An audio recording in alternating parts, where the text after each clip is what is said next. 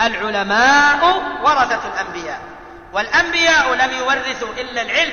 وعلم نبينا صلى الله عليه وسلم هو سنة سائل كريم جزاه الله خير الظاهر من طلاب الدرس. يقول لكن أم العيال حذرته من حضور الدرس. الدعوة إلى التعدد من التعدد؟ نقل إليها. لا تسأل لا الله يقينا شر هؤلاء النسوة. لا تثيرهن علينا لكن نقول لهن أخوات المؤمنات إن الحق ينبغي قبوله ولو كان مرا. ها؟ الحق أحق أن يتبع ولو خالفه الناس. وقل للمؤمن عليها أن تقبل شرع الله الذي أمر الله به. وخير قدوة لنا النبي صلى الله عليه وسلم وقبول أزواجه لفعله صلى الله عليه وسلم. وعندك يا أمة الله القرآن الكريم فانكحوا ما طاب لكم من النساء مثنى وثلاث ورباع.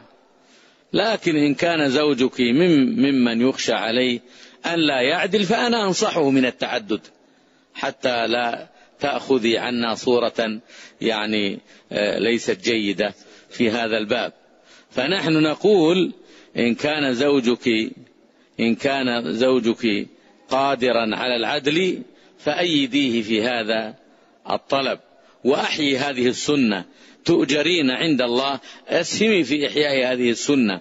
تؤجرين عند الله سبحانه وتعالى. وأما إن كان يغلب على ظنه أنه لا يستطيع العدل فإني أقول له فإن خفتم ألا تعدلوا فواحدة.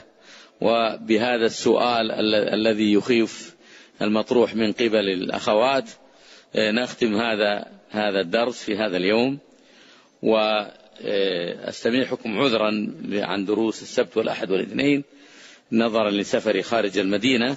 وإن شاء الله يوم الثلاثاء نحدد أو بالأحرى يوم الأربعاء صباحا نحدد المواعيد القادمة بإذن الله تعالى. يوم الأربعاء القادم نحدد مواعيد الدروس القادمة.